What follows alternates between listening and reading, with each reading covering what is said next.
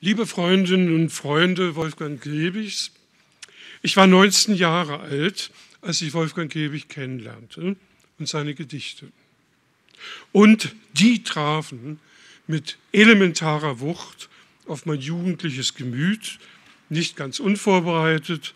Meine Hausgötter damals hießen Hölderlin und Heine, Braun und Kolbe, Baudelaire und Brecht, Nerval und Neruda, ein wilder Mix mit Suchtpotenzial auf mehr und anderes.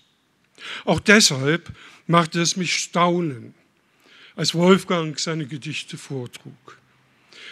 Die Wüste, das Wüste, Sprachmagie, Exorbitanz, Versehrung, Schwärzest Romantik und die Sprachklaviatur der Moderne machten um und um Staunen. In seinen Versen funkelten, ich zitiere ihn, hauchdünne Worte einer halbbewussten, trostlosen Sprache.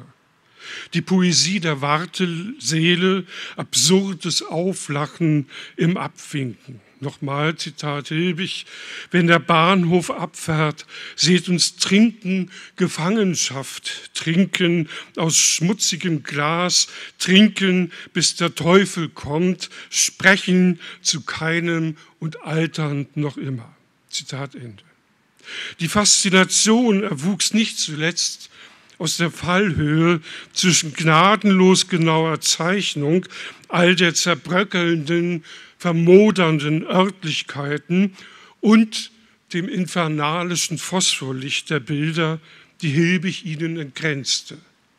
Franz Fühmann nannte ihn einmal, ich zitiere Fühmann, das Kind, das mit Meeren spielt. Und so haben wir ihn wahrgenommen. Wir? Ja, es gibt dieses Wir, das sich in den Jahren selbstredend vereinzelte, aber gemeinsame Verwurzelungen nie verleugnete.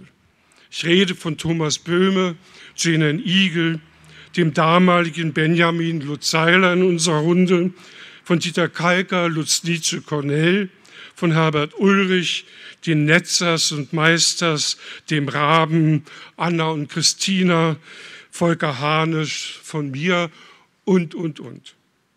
Im Rückblick bin ich mit allen Fasern des Seins dankbar für die poetologischen Initiationen, die Wolfgang Hilbig mit auslöste. Sie prägten entschieden mein Poesieverständnis und feiten mich weitgehend davor, als späterer Berufsgermanist in die Fallen soziologischer oder ideologischer Interpretationsmuster zu tappen. Ähnlich wie in Jane in Igels Gedicht Ich bin anwesend, das als direkte Antwort auf Hilbigs Abwesenheit zu lesen ist, war Wolfgang Hilbigs Präsenz längst unabdingbar geworden. Diese Anwesenheit stiftete Verbundenheiten wie Verbindlichkeiten über die Jahre hinweg. Und weil das so ist, darf ich Sie einladen zu einer Wolfgang Hilbig-Ehrung seitens der Sächsischen Akademie der Künste am 24. September im japanischen Palais zu Dresden.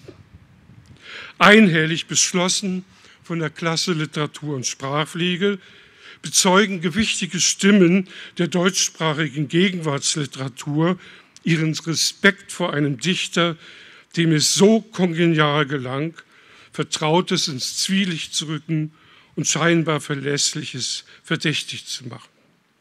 Es lesen und erinnern an diesem Tag Peter Gosse, Angela Kraus, Richard Pietras, Volker Braun, Friedrich Diekmann, Christian Lehnert, Roger Damaschina, Clemens Meyer, Uwe Kolbe, Thomas Rosenlöcher, Nancy Hünger, Wilhelm Bartsch. Ich darf Sie also äh, darf eine Einladung aussprechen und heiße Sie willkommen. Dankeschön.